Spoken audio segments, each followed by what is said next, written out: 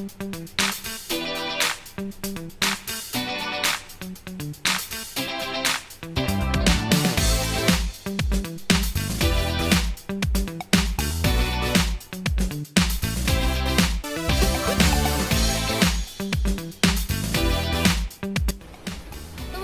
আজকে যেটা দেখলে সেটা হলো আমার আজকের আপডেট কারণ আজকে নতুন একটা আমি তোমার পদ্মফুলের সিপস নিয়েছি, সেটা আমি আজকে আবার ভেজালাম। তো এর আপডেট তোমরা নিশ্চয়ই পেয়ে যাবে। তোমরা যদি এর আপডেট পেতে চাও, তোমরা অবশ্যই আমার চ্যানেলটাকে সাবস্ক্রাইব করো আর পাশে থেকো। আর আর একটা কথা বলি, আমার আগের একটা ভিডিও দেওয়া আছে, যেটা আমি আই বাটনে দিয়ে দেবো, যে আমি সিড জার্মিনেশন থেকে পুরো প্রতিস্থাপন পর্যন্ত পদ্মফুলের পুরো আপডেটটা তোমরা পেয়ে যাবে, তোমরা দেখে নিতে পারো। আর আজকে তোমাদের আমি যেটা দেখাবো, আমার সেই পদ্মফুল গাছের আপডেট সেটাকে আমি কীভাবে জল চেঞ্জ করছি, কীভাবে পরিষ্কার পরিচ্ছন্ন রাখছি, সেটাকে কতটা রোদ বা কতটা সেডি এরিয়ায় রাখছি, কীভাবে যত্ন করছি, সেটা তোমরা যারা দেখতে চাইলে পুরোটা তোমাদেরকে দেখতে হবে। আর তোমাদের যদি ভালো লাগে প্লিজ ভিডিওটা লাইক করো আর কমেন্ট করে জানিও কেমন তো বন্ধুরা, দেখতে থাকো। তো বন্ধুরা দেখো, একটা দুটো পাতা করে আজকে আমার পদ্ম ফুল গাছটা কিন্তু অনেক পাতা হয়ে গেছে। আর মাঝখানে কিন্তু আমি অনেকগুলো পাতা কেটে দিয়েছি। তো এটা আমার কুড়ি লিটারের একটা বালতি। অনেকে মাটির গামলায় বা এতে টবে করলে খুব ভালো হয়। কিন্তু আমার কাছে সেটা অ্যাভেলেবেল নয়, তো আমি বালতিতেই করেছি। আর আমার গাছটা কিন্তু খুব ভালোভাবে গ্রো করছে। তোমরা আগের ভিডিও দেখলে বুঝতে পারবেন কীভাবে মাটি প্রিপারেশনটা করেছি। তো দেখো, আস্তে আস্তে করে পাতাগুলো কিন্তু খুব সুন্দরভাবে বড়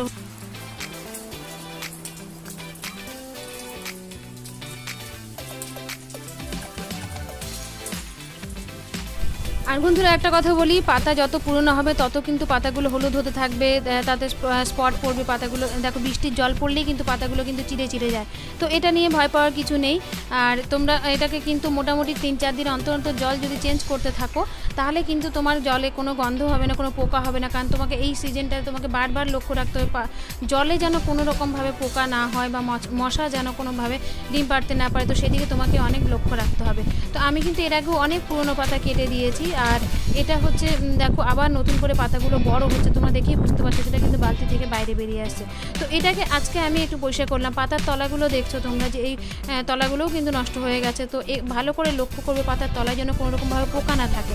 তো সেইভাবে পুরনো পাতাগুলোকে তোমরা কিন্তু কেটে দেওয়ার চেষ্টা করবে।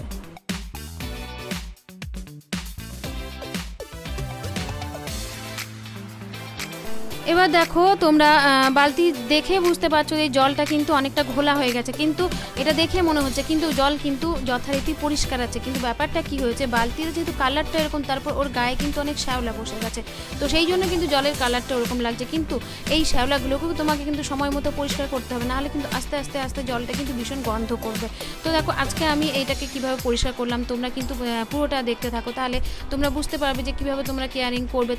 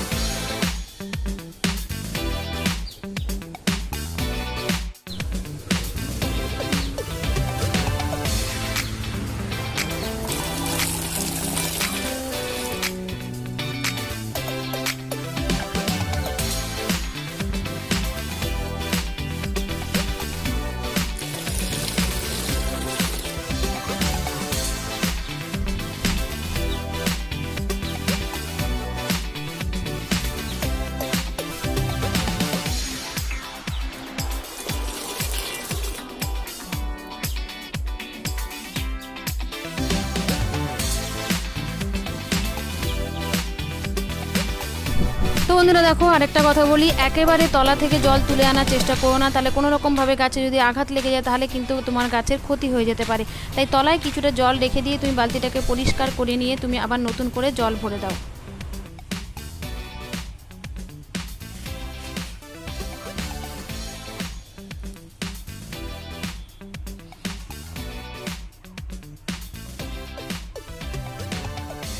আরেকটা কথা, তোমরা বালতিটা ভালো করে লক্ষ্য করলে বুঝতে পারবে যে বালতির গায়ে কিন্তু খুব অল্প অল্প শ্যাওলা জমেছে। আর আমার জলটা কিন্তু যথারীতি পরিষ্কারই আছে, ওতে কিন্তু কোনো পোকা নেই, কোনো প্রকার উপদ্রব নেই। তো তোমরা যদি সময় মতো একটু টাইম নিয়ে জলটা বা বালতির কানাগুলো পরিষ্কার করতে থাকো, বালতির ভিতরটা পরিষ্কার করতে থাকো, তাহলে কিন্তু তোমার গাছে বা তোমার জলে কিন্তু কখনোই দুর্গন্ধ হবে না এবং কোনো পোকার উপদ্রব হবে না। আর তোমরা দেখতে পাচ্ছ, ছোট্ট একটা পাতার ডাল বেরোচ্ছে, তো এত একেবারে বেশি আঘাত করার দরকার নেই, তাহলে কিন্তু সেই ছোট ছোট চারা যেগুলো বেরোবে সেগুলো কিন্তু আঘাত পেতে পারে। তো এইবার একটা শুকনো কাপড় নিয়ে তুমি ভালো করে ঘষে ঘষে কিন্তু বালতির কানাগুলো পরিষ্কার করে নেবে। তারপর আবার তুমি নতুন জল ভরবে।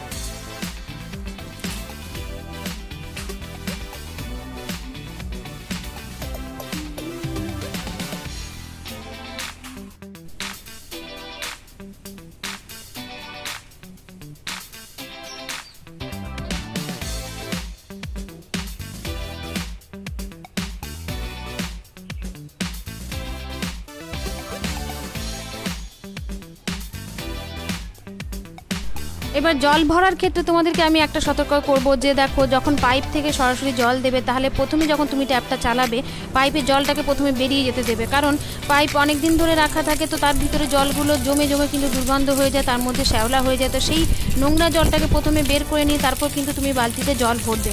আর বালতিতে জল ভরার সময় বা তোমার গামলায় বা টবে জল ভরার সময় কখনোই কিন্তু একেবারে গোড়ায় মাটিতে কখনো আঘাত করবে না।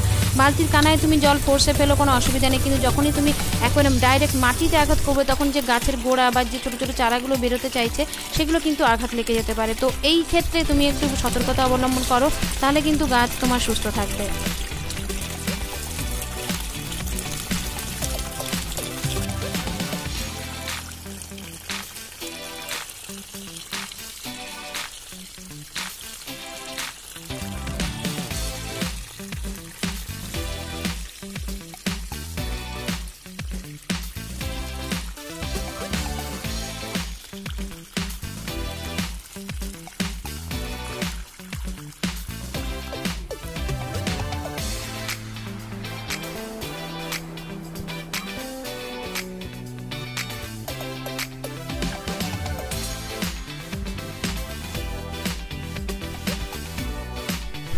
এবার বলব তুমি গাছটাকে কোথায় রাখবে? দেখো, সাধারণত কিন্তু পদ্ম ফুল গাছ তুমি ফুল সানলাইটেও রাখতে পারো, কিন্তু যেহেতু আমি এটা প্লাস্টিক জিনিসে করেছি, তাই এটাকে যদি আমি পুরোপুরি কড়া রোদে দিই, তাহলে বালতির জল কিন্তু গরম হয়ে যাবে। ফলে গাছ ক্ষতি হতে পারে, গাছের ক্ষতি হতে পারে। তো আমি এটাকে এমন একটা জায়গায় রেখেছি, তোমরা দেখতে পাচ্ছ, আস্তে আস্তে করে কিন্তু সকালে রোদটা আসছে, দুপুর পর্যন্ত রোদ থাকে, তারপর কিন্তু আবার দেখবে আস্তে আস্তে আমার ওখানে কিন্তু শেডি এরিয়া হয়ে যাবে, ছায়া পড়ে যায়। তো এটাকে তুমি যদি শেডি এরিয়ায় রাখতে চাও, রাখো, কিন্তু এটা সানলাইটের মধ্যে রাখা মনে হয় ভালো কিছুটা সানলাইট পাবে, কিছুটা শেডি এরিয়ায় থাকবে, তবেই কিন্তু তোমার গাছ ভালো থাকবে। আমি দেখো আর একটা কথা, এটা কিন্তু খোলা আকাশের নিচে রেখেছি, এটার উপরে কিন্তু কোনো গাছপালা নেই, তো গাছের তলায় রাখার চেষ্টা করবে না।